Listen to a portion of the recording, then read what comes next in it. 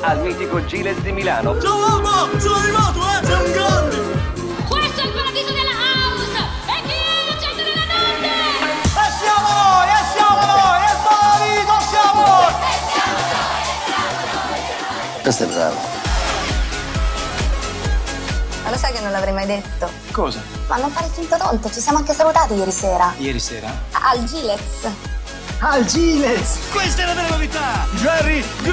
Johnny! Oh, ma è proprio di cocco sto qua, oh! Johnny, mandiamo un messaggio ai giovani che vanno a ballare. Sì, sì, mandiamo, dai, dammi il numero! A proposito di Pirla, il tuo fidanzato? Mi hanno fregato la macchina.